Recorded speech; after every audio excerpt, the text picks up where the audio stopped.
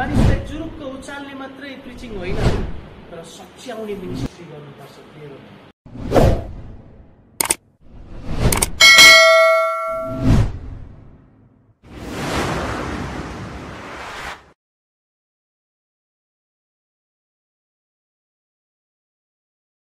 पुलपिटमा बसेर चाहिँ हामी सेवाकार्य गर्ने व्यक्तिहरू अनि सँगसँगै परमेश्वरको कामको लागि चाहिँ हात उठाउने व्यक्तिहरू चाहिँ हामीलाई प्रडक्ट अनि पास्टर राजेशजीले चाहिँ हामीलाई शिक्षा सिकेर चाहिँ होइन हामीले सबैको दिन हामी मण्डलीमा काम गर्ने कुरामा मण्डलीको अ, काममा सहयोग गर्ने कुराहरूमा हामीले हात बढाउन सक्छौँ म छोटो एउटा वचन हेरेँ एउटा पत्रको सात आठ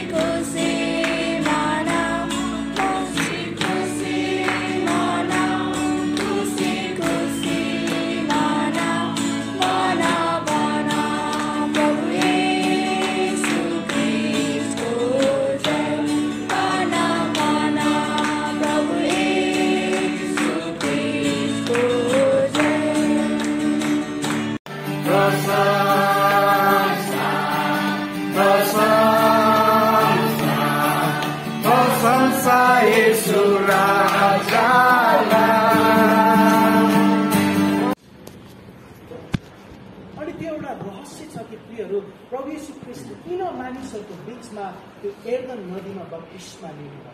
अनि बत्तिसमा चाहिँ वास्तवमा प्रभु यीशु ख्रिस्टको मृत्युको अगमबानी थियो। उहाँले सेवकाईमा जानुभन्दा अगाडि नै उहाँले इनडिरेक्टली रूपमा चाहिँ मृत्युको अगमबाडी गर्नुभयो। अब मानिसको पुत्र मारिनुपर्छ गाडिनुपर्छ र तेस्रो दिनमा फेरि बौरी उठ्नेछ भनेर बत्तिसमाद्वारा मानिसहरूको बिचमा त्यो अगमबाडी अप्रत्यक्ष रूपमा घोषणा गर्नु बत्तिसमाको अर्थ छ त्यो गलाती दुईको बिस म ख्रिस्टसँगै क्रुसमा टाङ्गिएको छु म मरेको छु गाडेको छु अब उसो म होइन ख्रिस्ट ममा जिउनुहुन्छ जुन जीवन म अहिले जिउँदैछु परमेश्वरको पुत्रलाई विश्वास गरेर जिउँदछु प्रभु यीशु ख्रिस्टले त्यो अगमबाणी चाहिँ त्यहाँ यर्दनको नदीमा गएर प्रकट गर्नुभयो त्यसैले म यहाँबाट के भन्दैछु भने प्रियहरू प्रभु यीशु ख्रिस्ट परमेश्वर भइकन त उहाँलाई नेतृत्वको खाँचो पर्यो भने हामी प्रभु यीशु ख्रिस्टभन्दा महान छैनौँ प्रियहरू कि मलाई कसैको नेतृत्व चाहिँदैन। म एक्लै यात्रा गर्न सक्छ हामी भन्न सक्दैन। त्यसैले त्यो आज्ञाकारिता जसले हामीलाई सच्याउन सकोस् जसले हामीलाई सिकाउन सकोस् जसले हामीलाई अर्थी दिन सकोस् जसले हामीलाई चाहिँ धार्मिकतामा तालिम दिन सकोस् यस्तो व्यक्ति हामीलाई चाहिन्छ। किनकि प्रभु यीशु ख्रिस्टलाई पनि चाहियो। तपाईँलाई थाहा छ प्रियहरू मैले बारम्बार सायद तपाईँहरूको बिचमा भनेको छु।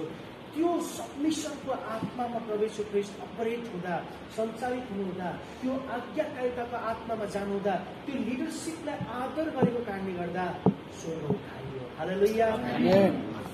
धेरै जसो मानिसको जीवनमा किन स्वर्ग उखारिँदैन भने हामीलाई नेतृत्व गर्ने मानिसलाई हामीले आदर गर्न सिकेका छैनौँ हामीले हामीले आज्ञाकारितामा जिउन सकेका छैनौँ हामीले चाहिँ लिडरसिपले देखाएको बाटोमा हामी आफूले आफूलाई अधीनतामा राख्न सकेका छैनौँ।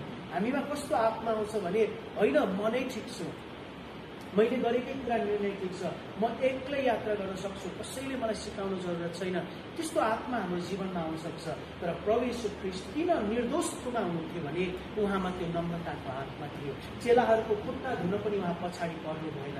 चेलाहरूलाई रोटी दिएर भाँच्दै गर्नुहुँदाखेरि जसले मलाई देखेको छ उसले मेरो पितालाई देखेको छ भन्नुहुने परमेश्वर त्यो प्रवेश ख्रिस्टको त्यो नमुनालाई हामीले पछ्याउन सकेका छैनौँ। त्यसैले धेरैजना विश्वासीहरूको जीवनमा किन स्वर्ग उभारिएको छैन भने हामीले नेतृत्वलाई आदर गर्न सकेका छौँ। त्यसैले प्रियहरू यो डिस्कभरी बाइबल स्टडीले हामीलाई एउटा यस्तो स्थानमा पुर्याओस् ताकि मेरो नेतृत्व जहाँ जानुहुन्छ म त्यही जानेछु म तपाईँलाई पछ्याउँछु। तपाईँका मानिसहरू मेरा मानिसहरू हुनेछन्। तपाईँका परमेश्वर मेरो परमेश्वर हुनेछ।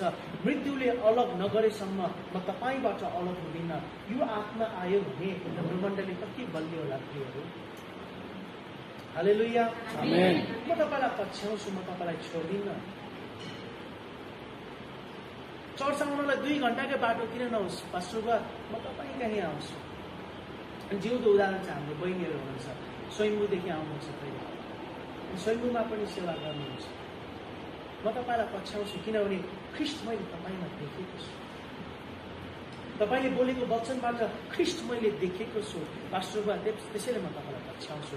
प्रभु ख्रिस्टमा त्यो आत्मा थियो किनभने बत्तिसमा दिने योहनालाई चाहिँ डाइरेक्टली परमेश्वरले नै नियुक्त गर्नुभयो। अनि त्यो नियुक्त गरेको मानिसलाई प्रभु ख्रिस्टले त आदर गर्नुभयो। प्रभु यीशु ख्रिस्टलाई त त्यो वचनको मानिसको खाँचो पऱ्यो भने त्योहरू हामी त शरीरमा छौँ हामी मानिस छौँ हामी पापबाट आएका छौँ। हामीलाई झन् कति धेरै आवश्यक पर्ला। त्यसैले धेरै जसो पास्टो अगुवाहरूले गर्ने चारवटा कामहरू चाहिँ एउटा सिकाउनु सच्याउनु अर्ती दिनु धार्मिकतामा तालिम दिनु। हामीले मध्ये दुईटा काम चाहिँ गर्न सक्छौँ सिकाउन र अर्ती दिन सक्छौँ। त्यो सजिलो छ। तर मस्टली दुईटा काम चाहिँ गाह्रो छ सच्याउनु। सच्याइयो भने कतै मेरो चर्चको छोडिदिएला कि भन्ने डर लाग्छ पास्टरलाई। मलाई पनि लाग्छ कहिले काहीँ सच्याइयो भने कहिले काहीँ अलिकति धेरै पो सच्यायो कि क्या हो जस्तो पनि लाग्छ। तर होइन होइन। दुई धारे तरबार हो। हामी मोटिभेसनल स्पिकिङ मात्रै होइन।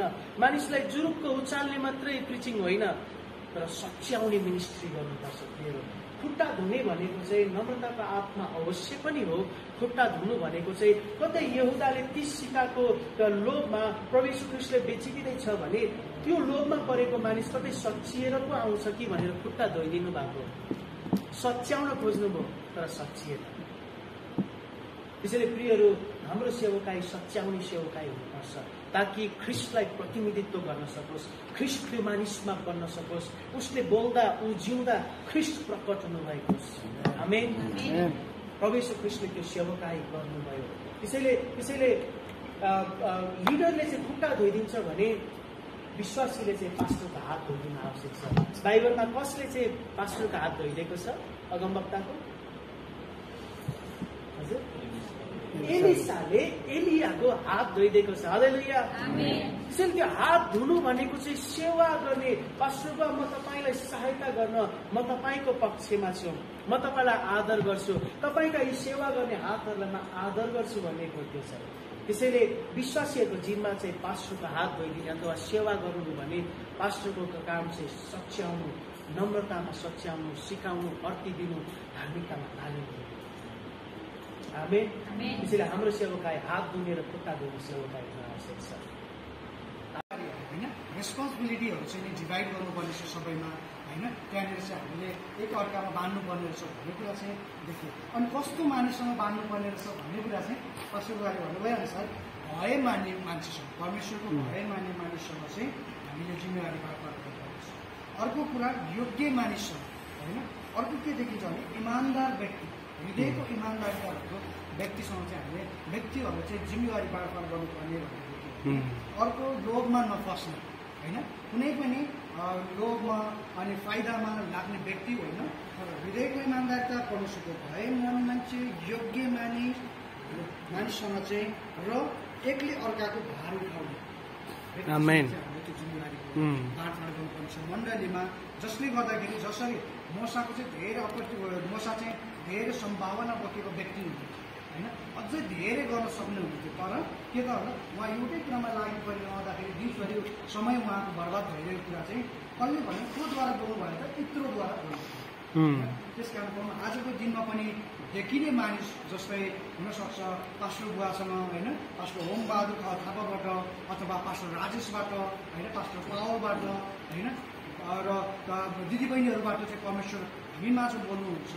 र त्यस्तो व्यक्तिसँग परमेश्वर बोल्नुहुन्छ जो चाहिँ हृदयको इमान्दारिता छ भन्ने कुरा चाहिँ यो वचन आमेन आमेन थ्याङ्क यू ताली बजाइदिनु। जय अनि आजको यो हाम्रो यो बिबिएसबाट चाहिँ हामीले के पत्ता लाग्यो भने पहिलो कुरो चाहिँ परमेश्वर चाहिँ होइन परमेश्वरले चाहिँ जो कोही व्यक्तिद्वारा पनि काम गर्न सक्नुहुन्छ उहाँलाई चाहेको खण्डमा. त्यो त्यत्रो चाहिँ एउटा अन्य जाति व्यक्ति थियो है। मोसा चाहिँ परमेश्वरद्वारा चुनिएको होइन छानिएको व्यक्ति थिए र मोसाद्वारा चाहिँ परमेश्वरले चाहिँ छ लाखभन्दा बढी इजरायलहरूलाई अगुवाई गर्ने एउटा अगुवाको भूमिका परमेश्वर दिनुभएको थियो। तर जब चाहिँ इत्रो अन्य जाति मानिसले त जब इत्रो चाहिँ त्यहाँ आयो अनि इत्रोले चाहिँ त्यहाँ हेरे अनि हेर्दाखेरि चाहिँ त्यहाँ धेरै मानिसहरूको भिड थियो त्यहाँ धेरै जमातहरू थियो। अनि यहाँसम्म कि त्यहाँ चाहिँ बिहानैदेखि बेलुकासम्मको त मानिसहरू चाहिँ मोसालाई पर्खिन्थे अनि पछ्याउँथे किन भन्दाखेरि मोसाले चाहिँ परमेश्वरको विधि विधानहरू मानिसहरूलाई बताउँदथे. अनि परमेश्वरको इच्छालाई चाहिँ मोसाले प्रकट गर्थे। आज परमेश्वरले पनि हरेक मण्डलीमा होइन एउटा मोसा जस्तै व्यक्ति अनि लिडरसिपहरू उहाँले छान्नु भएको छ कतिपय मण्डलीहरूमा आज के छ भन्दाखेरि मोसाले जस्तै कि त हामी धेरै भिड हुँदाखेरि पनि हामी एक्लै गर्न सक्छौँ मण्डलीमा. तर यहाँ चाहिँ विशेष गरी डिसाइपलको बारेमा चेलापनको बारेमा अनि कसरी चाहिँ चेलापन निर्माण गर्ने कसरी चाहिँ एउटा हस्तान्तरण गर्ने जिम्मेवारीलाई भन्ने कुराहरू पनि यहाँबाट हामी विशेष बुझ्न सक्छौँ होइन।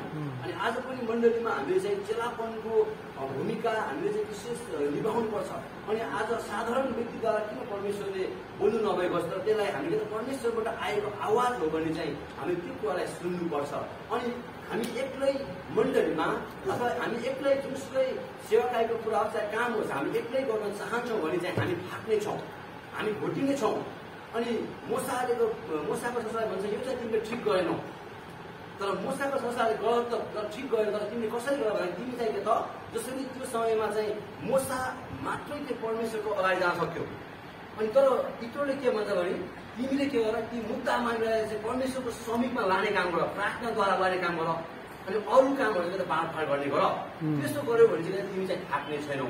तिमी चाहिँ के त तिमी भुटिने छैनौ अनि तिमीलाई चाहिँ सहज हुनेछ तिमीलाई चाहिँ सज सजिलो हुनेछ भन्ने कुरा चाहिँ त्यागको कुरा हामी पाउँदछौँ अनि पछि गएर कस्तो व्यक्ति छान्ने भन्ने क्रममा चाहिँ अघि हाम्रो पाठकजीले भन्नुभयो होइन पहिलो चाहिँ के हो परमेश्वरको भय मान्ने व्यक्ति छान्नु पर्यो चारवटा कुरा चाहिँ परमेश्वरको भय मान्ने दोस्रो योग्य अनि तेस्रो चाहिँ इमान्दारी चौथो चाहिँ के त अनुचित कुराहरूदेखि त फाइदा नलिने खालको व्यक्तिहरू छान्नुपर्छ हामीले।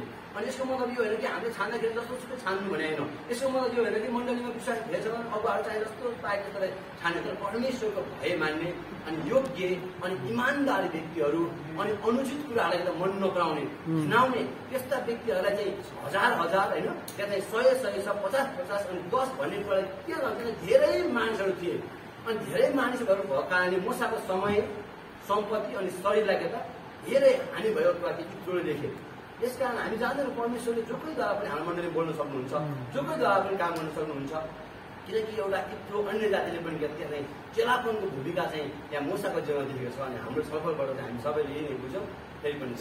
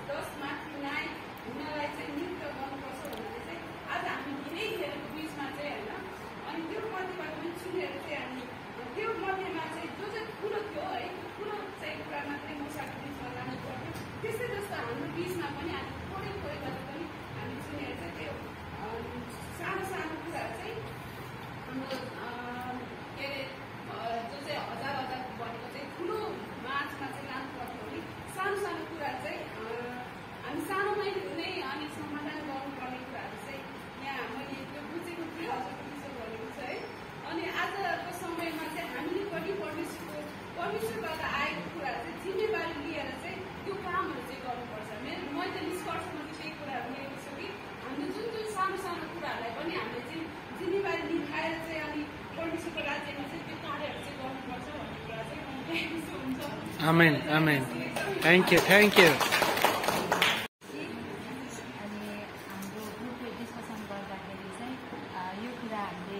प्रस्थान अठारको चौधदेखि बाइससम्म हामीले अध्ययन गर्दाखेरि पाएका छौँ सबैबाट सबै कुराहरू आइसकेको छ त्यही पनि म छोटकरीमा भन्न चाहन्छु कि यहाँ चाहिँ मोसासँग चाहिँ परमेश्वर आफ्नो ससुराबाट बोलेका छन् होइन एउटा मोसाले आफूले लिड गर्दै थिए भने मोसालाई लिड गर्ने चाहिँ आफ्नो ससुरा हुनुहुन्छ अनि उहाँले चाहिँ लिड गर्दै हुनुहुन्छ। अनि यहाँ चाहिँ कस्तो राम्रो आफ्नो ससुराले चाहिँ राम्रो सल्लाह दिएको मैले पाएँ कि अनि जस जतिखेर मोसाले चाहिँ सबै भारहरू आफ्नो टाउकोमाथि लिइराखेको थियो त्यतिखेर आफ्नो ससुराले चाहिँ यहाँ सल्लाह दिएका छन् कि सबैभन्दा पहिला चाहिँ सबै सबैको मुद्दा चाहिँ परमेश्वरको सामु लैजानु।